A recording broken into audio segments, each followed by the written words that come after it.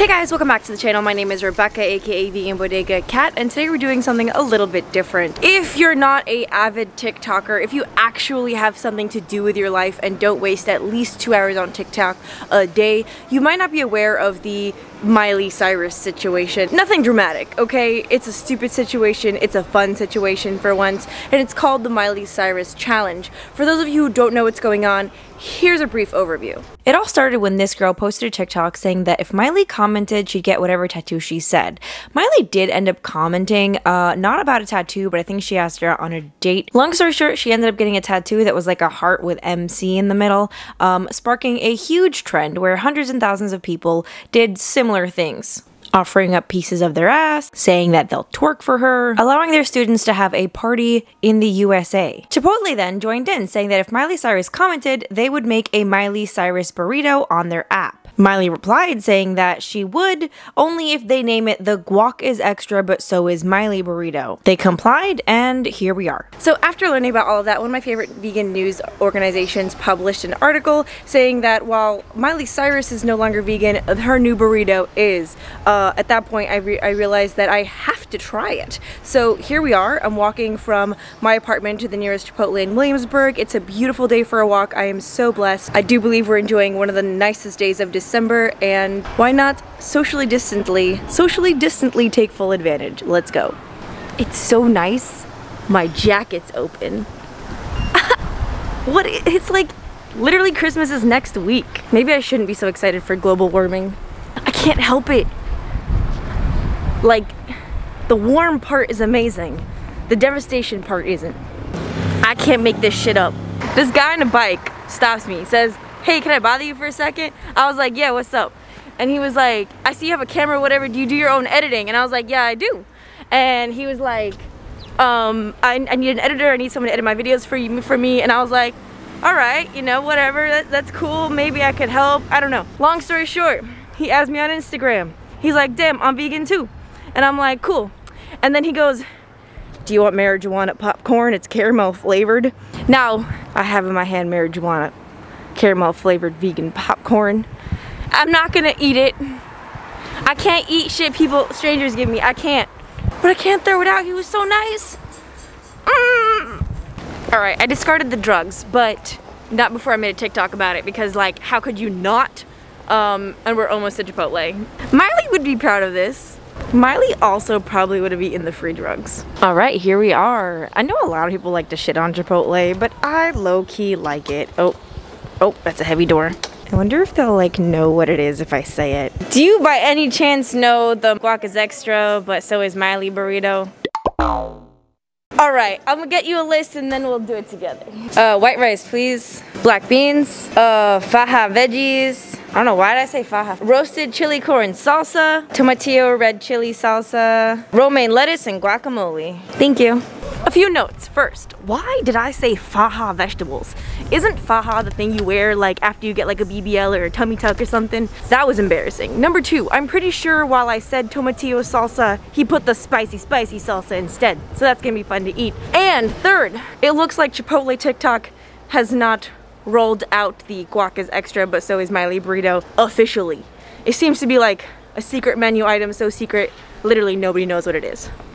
That's great. This burrito is very similar to my go-to actually.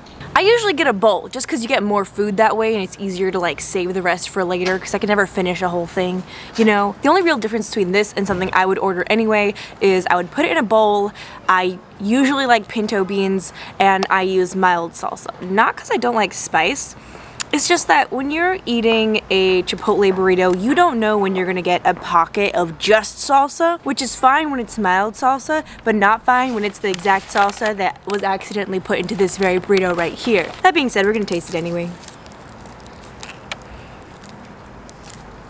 Tastes like mediocre Mexican food. Mediocre Americanized Mexican food. And I have one bone to pick with the name of this burrito. Here's the thing. I don't know if you guys know this, but if you order a veggie burrito, like if you order a burrito without any meat or even the tofu, the guac is free. And since this burrito is automatically a veggie burrito, the guac is not extra in this case. This is one of the rare cases that the guac is not extra. So. Then again, Miley named the burrito herself, so when you're Miley, you can do whatever you want. After this, I have to run a few errands. I think I'll take y'all with me. Just because this video is going to be like so short. Oh, let me rate this. I haven't yet hit a guacamole pocket, which by the way, was the guacamole there browner than usual? I'm gonna rate this a 6 out of 10. Oh, a salsa pocket. That was the most mediocre Chipotle burrito I've had in my life.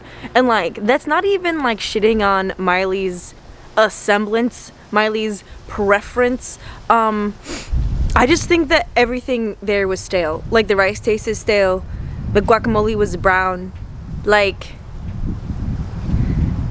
I don't know. Anyway, so welcome to the rest of my uh, day running errands. First stop is Foodtown because I'm doing a video where I try like a whole bunch of different um, frozen pizzas. And one of the frozen pizzas I wanted to try is from Alpha Foods. I went on their website and I did their like store locator. And apparently this Foodtown right here has their pizzas. Um, I also need dish sponges and the creamer that both Roberto and I are addicted to. After that, we're getting pots and dirt for my plants. I have a few uh, little cuttings that need to be planted.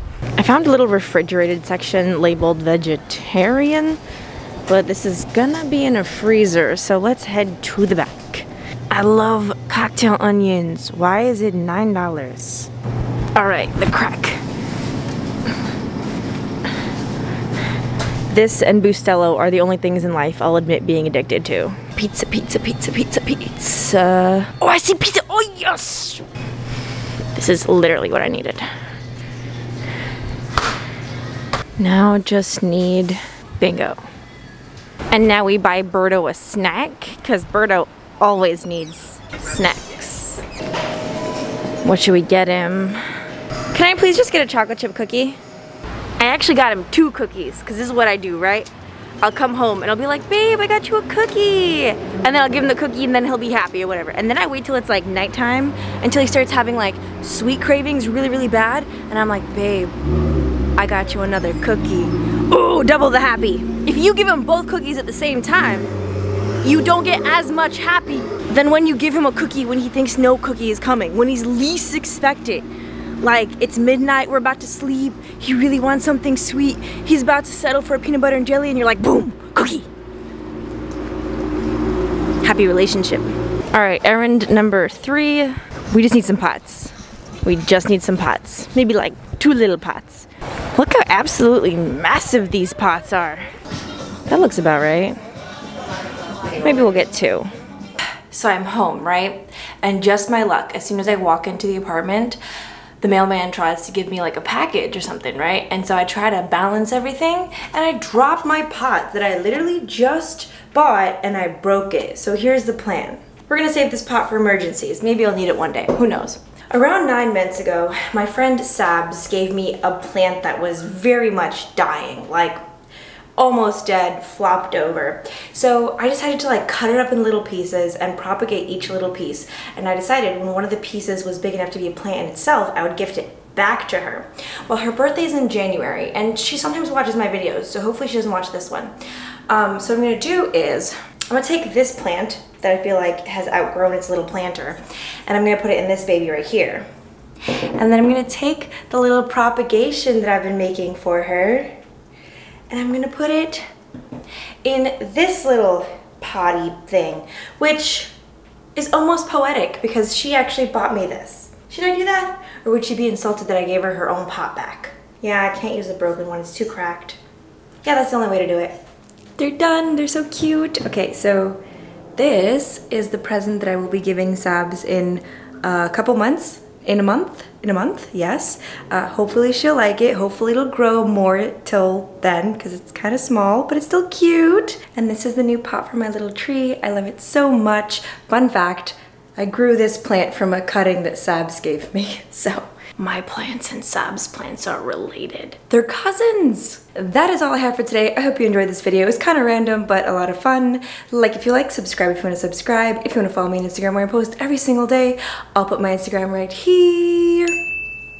And that is all I have for today. I will talk to you next time. Goodbye! Shout out to all my patrons, but especially my bodega bosses and my OG bodega babes. Jessica, Christina, Marlene, Lucia, Alex Creates, Ellen, Michelle, Laura, Kaylin, Marielle, Alex of Planet Earth, Nicole, Jenny, Gemini, Janine, Curtis, Stacy, Michelle, Eduardo, Chloe, Erica, Dana, Vanessa, Nikia, Angie, and Matt. You guys are the absolute best, and these videos are made possible with your support. If you want to support me non-monetarily, then just subscribe and stick around to watch another video. It shows YouTube that you like my content.